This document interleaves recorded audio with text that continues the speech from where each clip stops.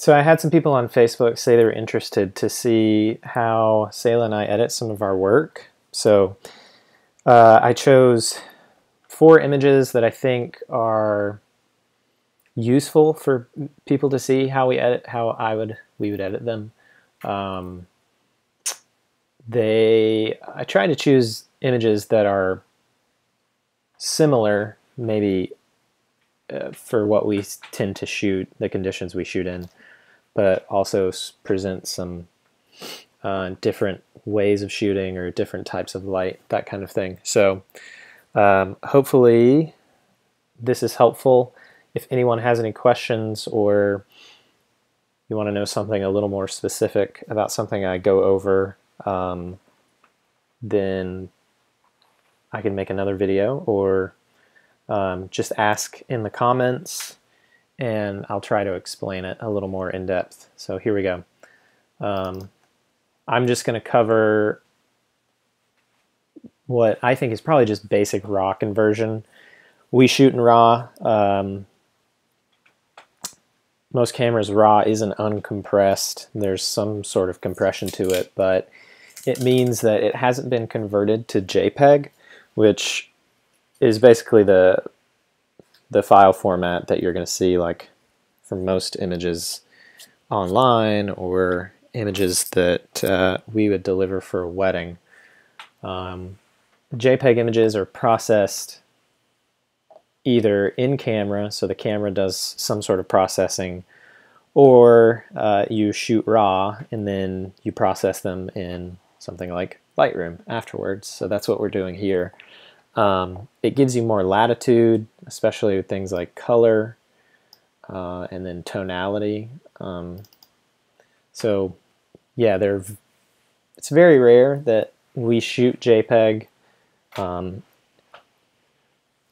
uh, but the, it does have some some use. Uh, so yeah, so here we go. The first thing that I usually do is apply a preset and we have a handful over here. There's like a black and white one. I'm not going to do any black and white uh, just because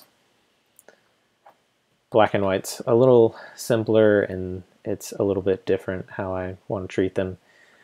But yeah, we have presets. Presets are, for us, a lifesaver. They're not, some people I guess would think of them as like a crutch, but we really like consistency in our work as far as tone and color.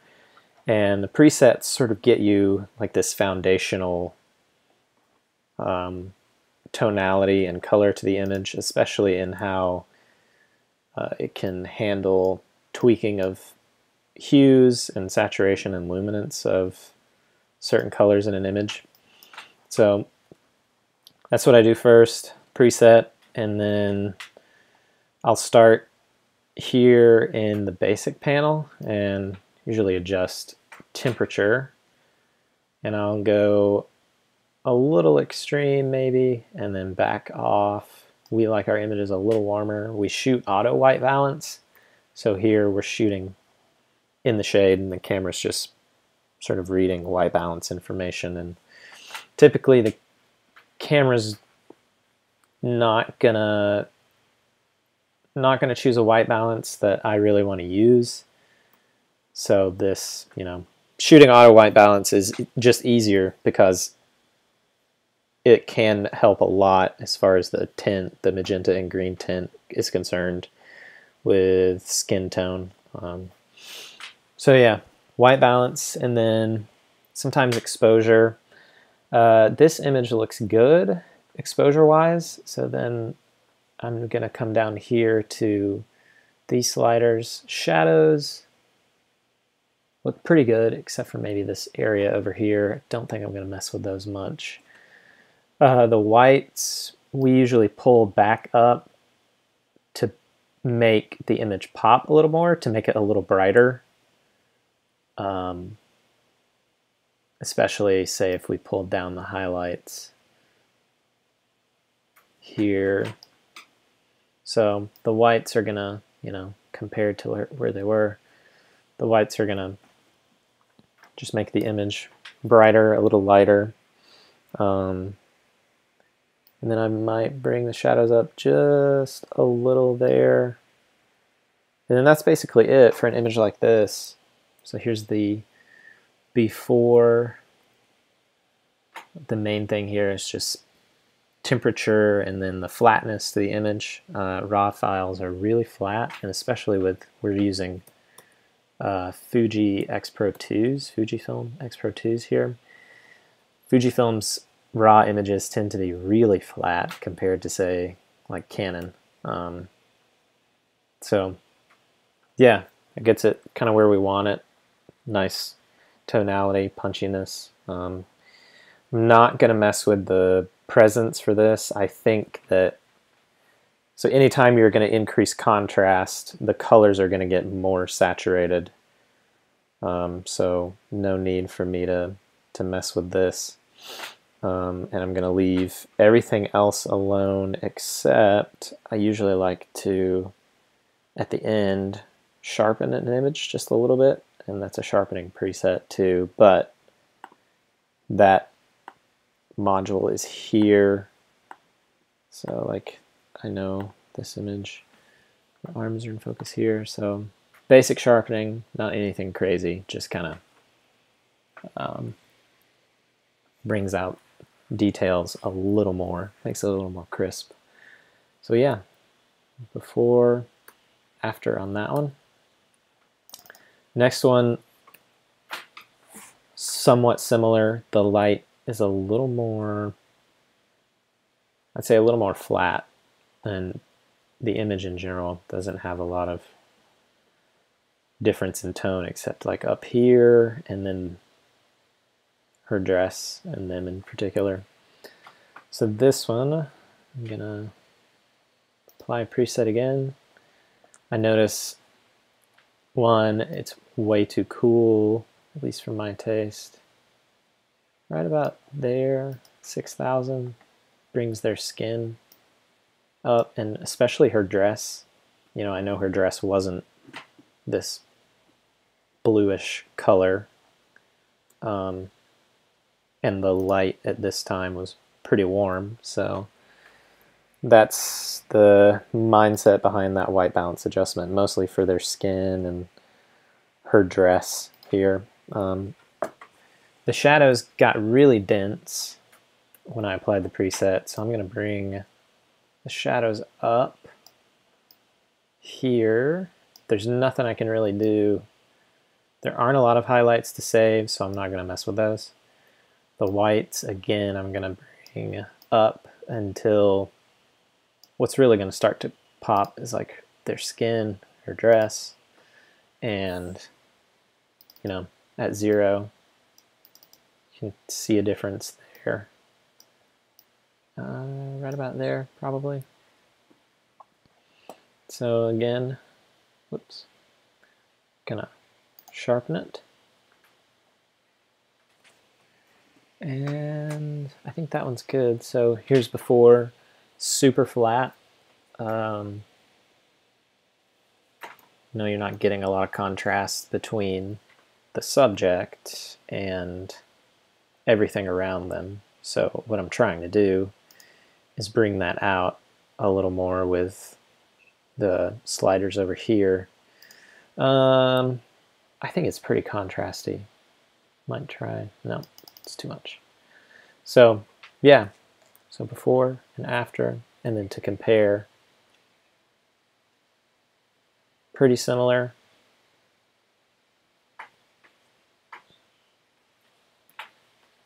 Yeah.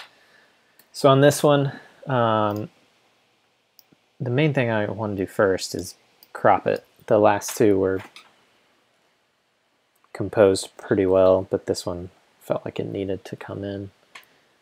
Uh, and then preset again. Pretty cool. I'm going to warm it up right, right about there. Kind of looking at the light here and then the shadows here, which are super dark. Um, and this one's different because I saw these clouds out here and in this, the unedited image, you can see a nice gradient and then there's even some like haze. This was 7 a.m. Um, so the way I exposed for this, when I shot it, I knew I wanted to be able to come back and not lose the detail in these clouds. So technically when I was shooting, I guess some people might say I, I, I didn't expose properly or I didn't shoot it the right way. Um, but not worried about that because this little arrow here on the left side of the histogram is going to show you if your hat, uh, sorry, if your blacks are clipped. So this blue means that there's no detail here in the original image. None of the blacks are clipped and neither are the highlights. Um, but I was trying to strike a balance between the two. If I had exposed only for the highlights, the blacks probably would be clipped, which means that it's you're not going to be able to really bring back information in the blacks without noise.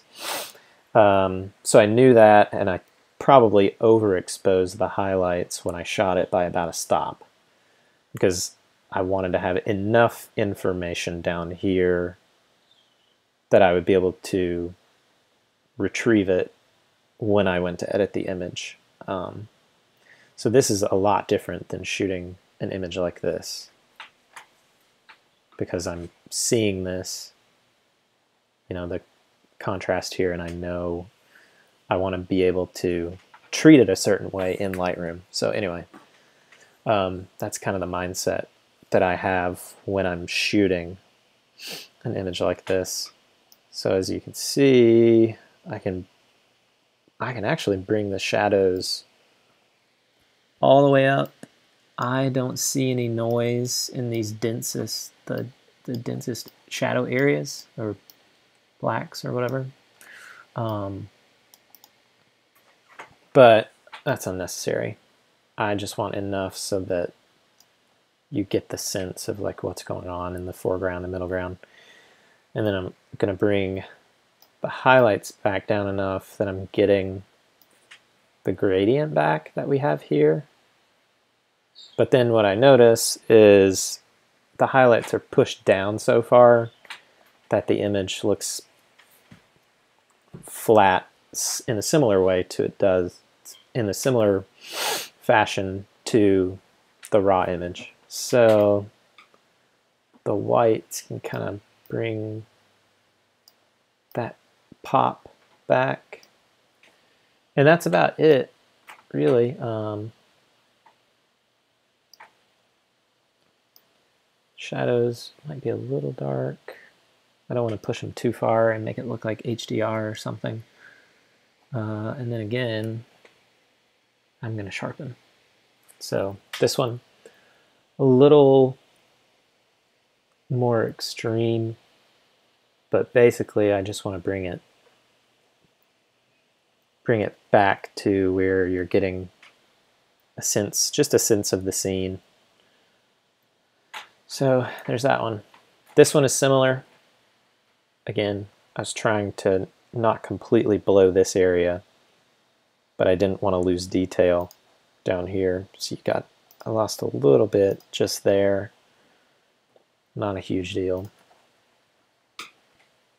So preset and this one, I would say it's worth boosting the exposure so that it's a brighter scene. I think the temperature is okay. Maybe a little. So I'm going to bring the shadows up quite a bit so that you can tell what's going on because the, the way the light was playing off of this the plants on the dunes was really cool. And then I'm not going to bring the highlights too far down because I think that looks a little weird. But enough that you know, you're seeing some of the detail here. And then again, bring the whites up because it was a bright beach scene, even though it's 8 p.m. Um, so yeah, I think that's pretty much it. Straighten the horizon. And then uh, sharpen it.